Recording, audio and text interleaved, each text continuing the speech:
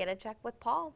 Hey, you know, I talked about that dry air being in the lower part of the atmosphere, chewing apart that snow uh, that has been showing up on Doppler radar so far, but it's not going to stick around all night. And later tonight, as the warm air pushes in, that's when we have to deal with some freezing rain and sleet, and that's why that ice potential is there right on into uh, tomorrow morning. Let's talk about the temperatures because here's the situation.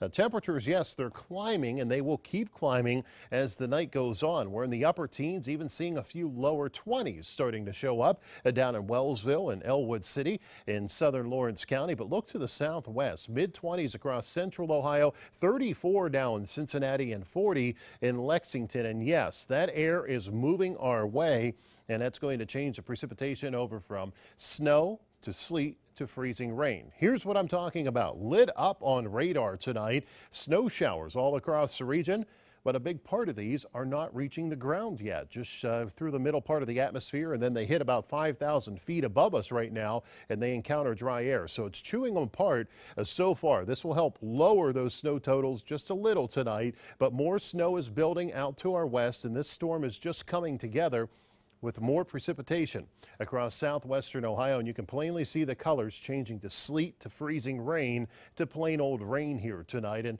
that's what's going to happen here at home. Uh, first thing tomorrow morning is this storm that dives all the way down to the south, uh, pushes moisture in our direction, and it's going to sit here uh, through the day tomorrow into tomorrow night with rain and even the chance of a thunderstorm later tomorrow into tomorrow night. So here's Future Tracker again. Snow showers moving on through here. Uh, the snow won't be as big of a problem as the freezing rain and sleet will into first thing tomorrow morning. 4:30, 5 o'clock in the morning, starting to see that changeover across Columbiana County and then working its way northward as we go into 6, 7, 8 o'clock tomorrow morning. Still snow showers across northern Trumbull County, but you too uh, will get into the freezing rain and sleet as we go through the morning and eventually the temperatures warm up enough that it's just plain old rain tomorrow and rain on and off through the afternoon could get heavier into tomorrow evening. More than a half inch of rainfall is possible and notice these deeper yellows and reds, even a chance for a little thunder into tomorrow night before temperatures start diving again and the rain changes back over to snow on into Sunday morning. Then we'll be watching for a few snow showers on Sunday especially through midday in the afternoon. If this lake effect can get going later in the day, that could dump some decent snowfall across parts of the area. But right now, it's questionable whether or not that's going to get going uh, by midday Sunday. So temperatures getting colder for sure right through the end of the weekend.